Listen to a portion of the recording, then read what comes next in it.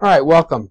This tutorial is meant to give you a brief overview of what Moodle is, give you some ideas on how you can get started using it at NJIT, and also show you how to log on. So this is meant to be just a very brief overview. This is the first in a series of many tutorials, and we're hoping that this will help you make the plunge into Moodle so you can get started. So the first thing that you want to do is, if you're interested in Moodle, is to know what it is exactly. And it's an open source learning management system.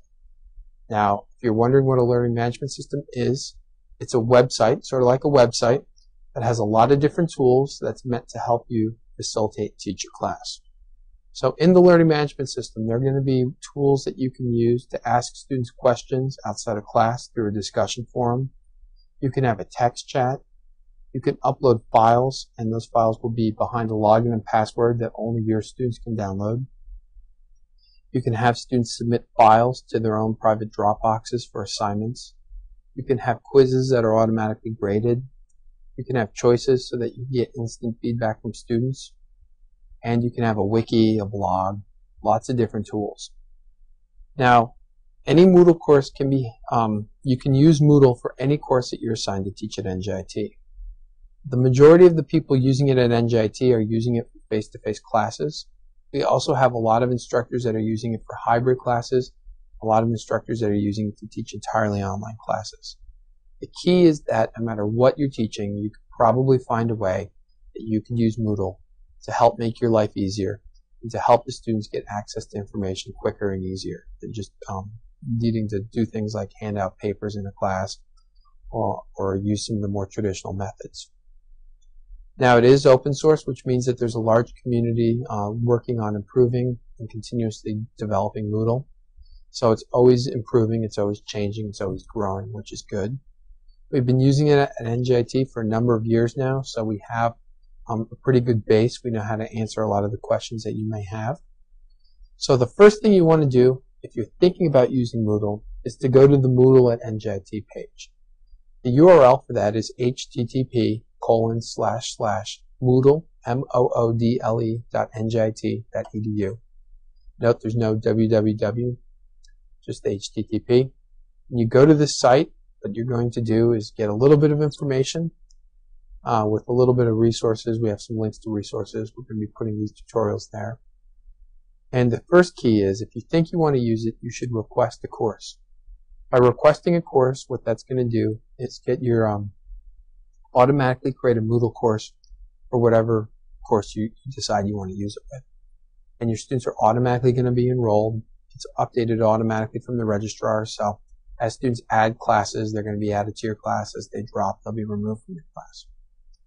Now what happens is, um, first step you have to do is go to the bottom of the page and go find the to request a course.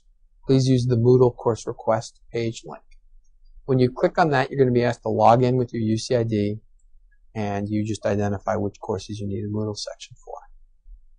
That course normally takes uh, about 48 hours or less to get the course created. And once you have that done, you can log in and you do so with your UCID and password. So I'm going to log in. And you're going to notice that you're going to be redirected to a new site. This is going to be our Moodle site.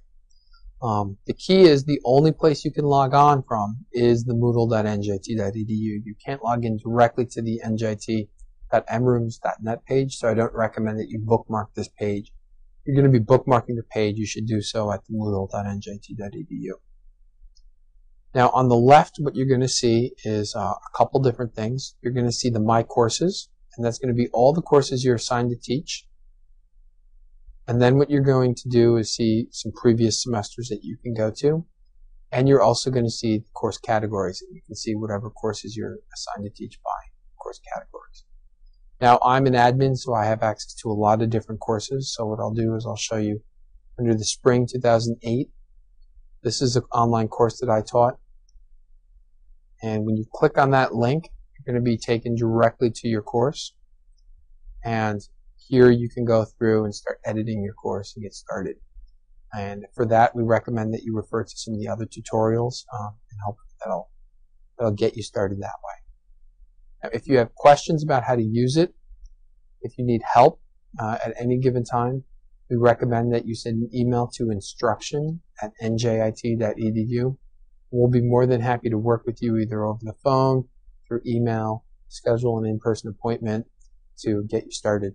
Now, our department, which is Instructional Technology and Media Services, does work with um, adjuncts uh, a lot of the time. So if you are an adjunct, you're not available during the day, we can do something to, you'll find a way to accommodate you.